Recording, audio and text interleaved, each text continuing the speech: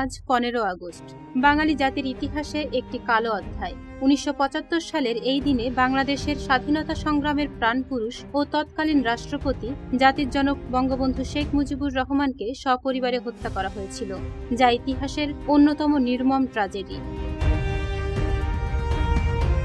বঙ্গবন্ধুকে হত্যার পরপরই ক্ষমতায় বসেন খন্দকার মোশতাক আহমেদ। জারি করা হয় সামরিক আইন। দশ দিনের মাথায় জিয়াউর রহমানকে সেনাপ্রধান করেন মোশতাক। ইনডেমিনিটি অধ্যাদেশ জারি করে বন্ধ করা হয় বঙ্গবন্ধুর হত্যাকারীদের বিচারের পর।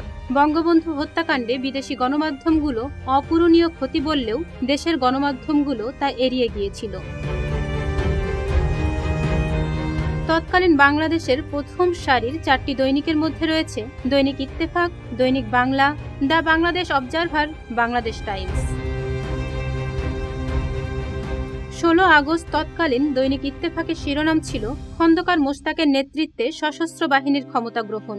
শোল্ডারে লেখা ছিল, দুর্নীতি স্বজনপ্রীতি উচ্ছেদ, সুবিচার ও মূল্যবোধ প্রতিষ্ঠার লক্ষ্য ঘোষণা।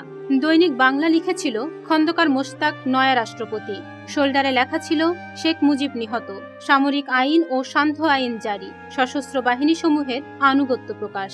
বাংলাদেশ অবজারভারের শিরোনাম ছিল Mostaq becomes president, Mujib killed. Situation remains calm, যার বাংলা অর্থ দ্বারাই মোস্তাক রাষ্ট্রপতি হয়েছেন শেখ মুজিব নিহত। পরিস্থিতি স্বাভাবিক। শোল্ডারে লেখা ছিল, martial law proclaimed in the country, Mujib killed.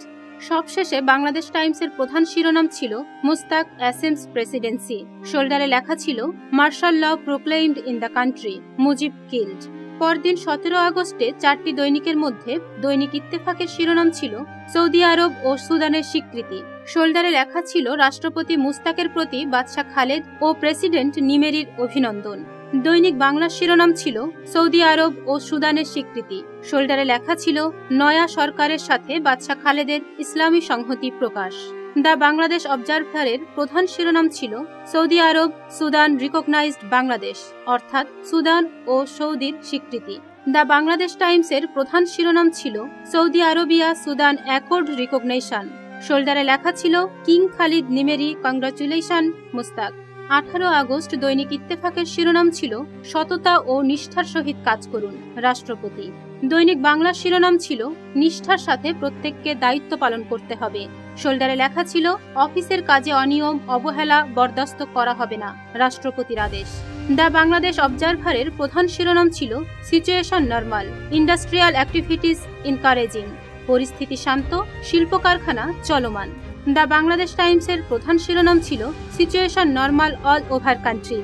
শোল্ডারে লেখা ছিল, ইন্ডাস্ট্রিয়াল অ্যাক্টিভিটিস রিজিউম।